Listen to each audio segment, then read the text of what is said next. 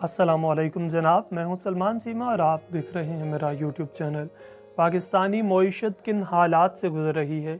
Dollar की कदर में जो लामतनाही इजाफा हो रहा है, ये मामला किसी से ढके छुपे नहीं। बढ़ती महँगाई, ज़र मुबादला के ज़ख़ायर में मुसलसल कमी, बैरूनी इमदाद और कर्ज़ों में ताख़ीर और हालात इतने अबतर हुए कि मुल्क के माशी तौर पर डिफ़ॉल्ट की बातें भी हमने सुनी। हज़ारों साल नरगस अपनी बेनूरी पर रोती है। बड़ी मुश्किल से होता है चमन में दीदावर पैदा। जिस तरह चमन में दीदावर बड़ी मुश्किल से पैदा होता है, इसी तरह चमन उजड़ते भी बरसों की मेहनत से हैं कि हादसा एकदम नहीं होता। और इस चमन के उजड़ने की तो वजूहत भी बेशुमार हैं। आज की इस वीडियो में हम इन्हीं में से एक वजह की बात करने जा रहे हैं, जो हमारी इस अर्ज़ पाक को तबाही की तरफ़ लिए जा रही है। एक अमरीकी नशियाती इदारा है, जिसका नाम है ब्लमबर्ग। इस इदारे ने एक रिपोर्ट जारी की है, जिसके मुताबिक पहले ही मौशी अदम इसकाम का शिकार पाकिस्तान से हर रोज़ लाखों डॉलर अफ़गानिस्तान समगल किए जा रहे हैं। जिससे अफ़गानिस्तान की मीशत को तो किसी हद तक तकवीत मिल रही है, जबकि पाकिस्तानी मीशत मुसलसल कमज़ोर होती जा रही है। पाकिस्तान से हर रोज़ लाखों डॉलर गैर कानूनी तरीके से अफ़गानिस्तान समगल किए जा रहे हैं, जिससे अफ़गानिस्तान की सुकड़ती हुई मीशत को कुछ हद तक सहारा तो मिल रहा है। बावजूद इसके कि यूरोप और अमेरिका ने तालिबान को गैर मुल्की बैंकों में रखे हुए अरबों डॉलर के ज़र मुबादला के ज़ख़ायर तक रसाई देने से इनकार कर दिया था। ताहम, पाकिस्तान के लिए सूरत हाल तशवीशनाक है क्योंकि डॉलर की स्मगलिंग से तेज़ी से बढ़ते मौशी बहरान में इजाफा हो रहा है। ताजर और स्मगलर्स हर रोज़ कम अज़ कम 50 लाख डॉलर सरहद पार स्मगल कर रहे हैं। हर हफ़्ते अफ़गानिस्तान के मरकज़ी बैंक मार्केट से कम अज़ कम एक करोड़ सत्तर लाख डॉलर ज़ख़ीरा करते हैं। गैर कानूनी तौर पर डॉलर की स्मगलिंग से ज़ाहिर होता है कि 2021 में हुकूमत में आने के बाद तालिबान किसी, किस तरह मुआशी पाबंदियों से गुजर रहे हैं। लेकिन डॉलर्स की अफ़गानिस्तान स्मगलिंग से पाकिस्तान के ज़र मुबादला के ज़ख़ायर पर दबाव पैदा हो रहा है। जबकि रुपये की कदर तारीख की कम तरीन सतह पर पहुँच चुकी है, जिसने मुल्क की मीशत को दिवालिया होने के दहाने पर पहुँचा दी है। करंसी अफ़गानिस्तान से मगल की जा रही है। अफ़गानिस्तान को योमिया एक से डेढ़ करोड़ डॉलर की ज़रूरत है और आधे से जायद पाकिस्तान से स्मगल किया जा रहा है। मुल्क की मीशत को सहारा देने के लिए बैंक के पास ज़र मुबादला में बहुत ही कम डॉलर्स हैं। रिपोर्ट के मुताबिक अफ़गानिस्तान को गुजशत साल से हर हफ़्ते चार करोड़ डॉलर की इमदादी रकम अकवा मुतहदा से मौसू हो रही है। और जैसा कि अफ़गानिस्तान ग्लोबल बैंकिंग निज़ाम से मुंसलक नहीं है, इसलिए अकवा मतहदा से आने वाली इमदादी रकम काबुल में नकद की सूरत में दी जाती है, जिसको मुकामी करेंसी में तब्दील करने की ज़रूरत होती है। कुछ ताजर अफ़गानिस्तान से कोयला अफ़गानी करेंसी में ख़रीदते हैं और कुछ मुनाफा रख कर पाकिस्तानी करेंसी में फ़रोख्त कर देते हैं। बाद वो रुपए को अमरीकी डॉलर में तब्दील करके रिवायती तरीक़ों से अफ़गानिस्तान तरसील करते हैं। हालाँकि पाकिस्तान में डॉलर तलाश करना मुश्किल है, इसलिए वो डॉलर के हसूल के लिए पिशावर जैसे शहरों में सरहद के करीब करीब ग्रे मार्केट्स का इस्तेमाल करते हैं, जहाँ वो सरकारी शरह से 10 फ़ीसद जायद अदा करते हैं। पाकिस्तान के नाकस इमिग्रेशन निज़ाम, तजारती पॉलिसियों और बॉर्डर की कंट्रोल की वजह से ये मसला हो रहा है, जहाँ हर रोज़ हज़ारों अफराद बग़ैर वीज़ा के सरहद पार करते हैं। दिन में कुछ लोग अपने साथ डॉलर भी ले जाते हैं। मुख्तलिफ़ वजारतों के अहम अजलास में मुल्क को दरपेश चैलेंजेस पर गौर वौज़ और तबादला ख्याल के दौरान सरहद पार स्मगलिंग पर अफसोस का इजहार तो होता रहता है। इसकी रोकथाम के लिए मज़बूत इकदाम का फ़ैसला भी किया जाता है। फिर न जाने क्यों, इस उस सख्ती से अमल दरामद नहीं हो पाता जिसकी ज़रूरत है।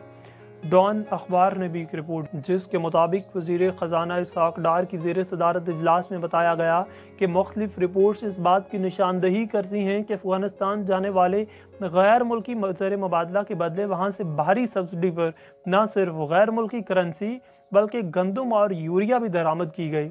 इजलास के शुरा ने इस बात पर हैरानी का इजहार किया कि सिविल मुसल अफवाज कस्टम्स एहलकारों की बाहरी नफरी तैनात होने और 50 अरब रुपए से जायद लागत से 2500 किलोमीटर से जायद सरहद पर बाढ़ लगाने के बावजूद यूरिया, गंदम और करेंसी की स्मगलिंग हो रही है।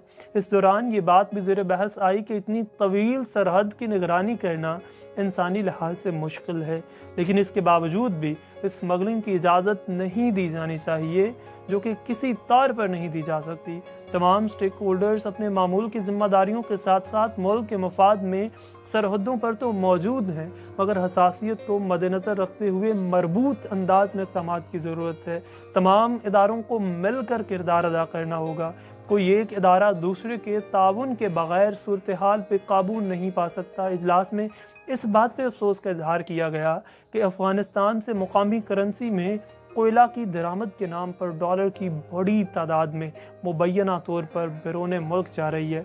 तमाम स्टेक होल्डर्स ख़ास तौर पर कस्टम इंटेलिजेंस फ्रंटियर कॉन्स्टेबलरी और इंटेलिजेंस एजेंसियों को रोड मैप बनाने के साथ हंगामी बुनियादों पर इस सूरत हाल से निपटने की ज़रूरत है, क्योंकि मुल्क को शदीद माली और ज़र मुबादला के नुकसान के साथ तारीख़ी चैलेंज का सामना है।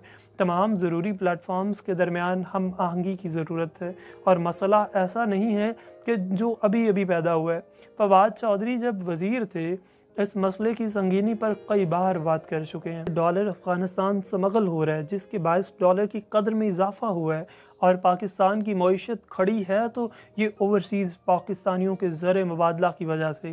गुजशत बरस अफ़गानिस्तान पर तालिबान के कब्ज़े के बाद से पाकिस्तान से बड़े पैमाने पर अमरीकी डॉलर्स अफ़गानिस्तान जा रहे हैं।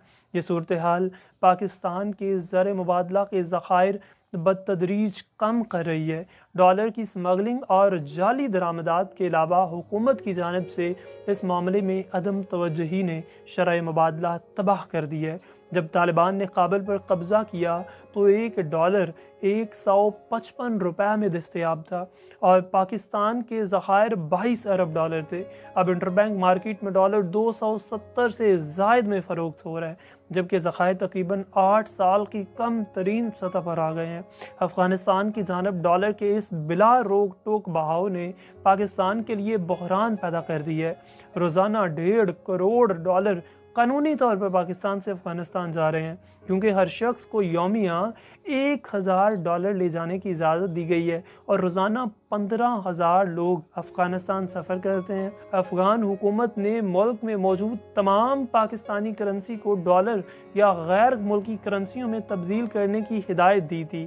काबल में पाँच लाख पाकिस्तानी रुपए से ज़्यादा रखना ममनू है। इससे ज़्यादा पाकिस्तानी रकम रखने वाले किसी भी शख्स के खिलाफ इंसदाद मनी लॉन्ड्रिंग के कानून के तहत वहाँ पर मुकदमा चलाया जाता है। बयालीस बरसों से अफगान अवाम पाकिस्तानी करेंसी में तजारत कर रहे थे। इनके पास सैकड़ों अरब रुपए हैं। लेकिन अफ़गान हुकूमत की हिदायत के बाद अब वो हर कीमत पर पाकिस्तान से डॉलर ख़रीद रहे हैं। वो पाकिस्तानी मंडियों से तमाम डॉलर समेट लेंगे। पाकिस्तान को ये मामला अफ़गान हुकूमत के सामने भी उठाना चाहिए। तजारती बैंक क्रेडिट कार्ड्स के लिए एक्सचेंज कंपनियों से माहाना 12 से 13 करोड़ डॉलर ख़रीद रहे हैं। इन क्रेडिट कार्ड्स की बदौलत डॉलर्स कानूनी तौर पर मुल्क से मुंतकिल होते हैं। ताहम, हुकूमत ने फ़ी क्रेडिट कार्ड पर सालाना अखराज की हद को कम करके तीस हज़ार डॉलर कर दिया इससे पहले इस तरह के लेन देन पर कोई हद नहीं थी। रवा माली साल की पहली समाही में तकरीबन पंद्रह हज़ार कंटेनर्स दरामदी ड्यूटी अदा किए बगैर पाकिस्तान से अफ़गानिस्तान गए, जबकि गुजशत वर्ष इस मुद्दत के दौरान ये तादाद तीन हज़ार कंटेनर्स तक थी।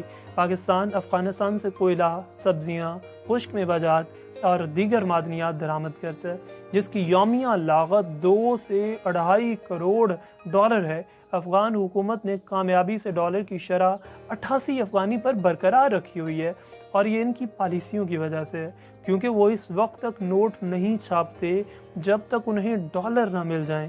पाकिस्तान से अफ़गानिस्तान को बरामदात में कमी देखी गई है, जो कि इक्यावन करोड़ डॉलर से कम होकर बत्तीस करोड़ डॉलर रह गई है। साल 2002 में जनरल मुशरफ के दौरे इकतदार में हुकूमत ने अफ़गानिस्तान की मार्केट में पाकिस्तानी मसनूआत फ़रोख्त करने के लिए बरामद कुनंदगान को सहूलियात फ्राहम करने का फ़ैसला किया था और फिर साल 2002 से तीन के दौरान ही अफ़गानिस्तान को अड़तीस लाख डॉलर की बरामदात की गई, जो कि रिकॉर्ड बरामदात थी। अगर पॉलिसीज़ पर अमल दरामद हो तो किसी हद तक बेहतरी तो ज़रूर आती है और हमें बेहतरी की ज़रूरत भी है, क्योंकि हमें पाकिस्तान का मफाद सर फहरिस्त रखते हुए बेहतर पाकिस्तान की तरफ़ जाना है। अपना और अपने प्यारों का बहुत सा ख्याल रखिए। अल्लाह ने के बान